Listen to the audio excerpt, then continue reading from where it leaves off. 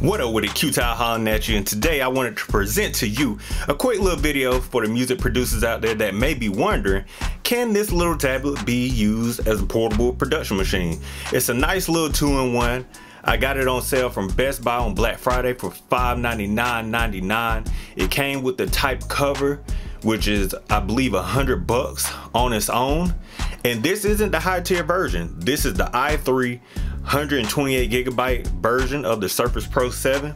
I've enjoyed it so far. It's been very great, very nice. I also, probably the most unusual thing about it for me is I do have a one terabyte SanDisk Extreme micro SD card in there.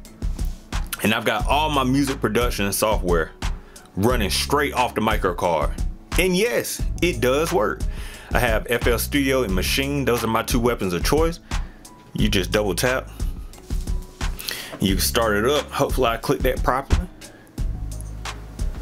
I'll try that again. See if we can get it pop up. There we go. I'm also start up Maschine as well.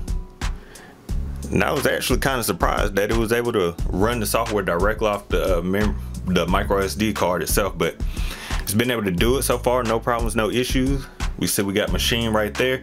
And I've loaded up several VSTs I've loaded up maybe 11 or 12 at once just to see if I can push it. Because normally I'm not going to use that many VSTs at once. I'm triggering a lot of sample sounds and then I'll have some VSTs in there.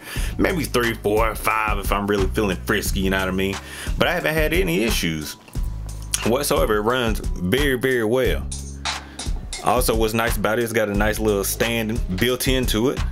So you can lean it real far back and it stays nice and stable. Let me get a better angle for you nice and stable no problem. So you can angle it however you want to. That's been very nice. Also as you can see I got my uh, USB plugged in. That's another beautiful feature about it.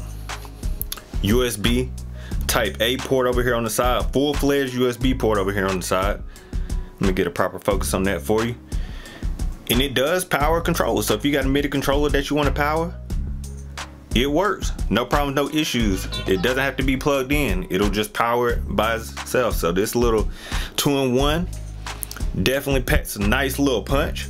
Also to note on the power cord itself there's an additional USB-A port so you can use two MIDI controllers at one time if you choose to do so. And I have done that before.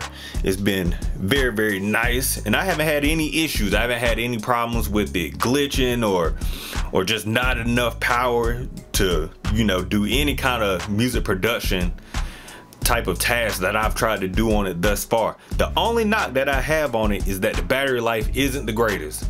Normally, if I'm using this bad boy with the controller not plugged in, I can get a good four to five hours out of it, which isn't terrible. It ain't the greatest in the world, but it's not bad. Considering you're you're powering a device and you're running VSTs and do all these, you know, task intensive things, no problem. And it charges up really, really fast. I mean, you can go from zero to 80%, I believe they say in an hour. And from what I've seen, it's been true thus far. So it's been absolutely a joy. This is absolutely a go if you're a producer and you want to make beats on the road. This gives you the opportunity to do so. You can climb up on top of a mountain, make a beat if you want to, just to get the vibes, you feel me? But yeah, man, that's it. That That's the quick little video. It, you can do it. Long story short, it can do it and it can do it well. The only knock is be be careful about the battery life. It ain't terrible, but it ain't the greatest. Anyways, Thank you for watching. Like, comment, subscribe if you don't mind. I greatly appreciate if you took the time to do so. And until next time, peace.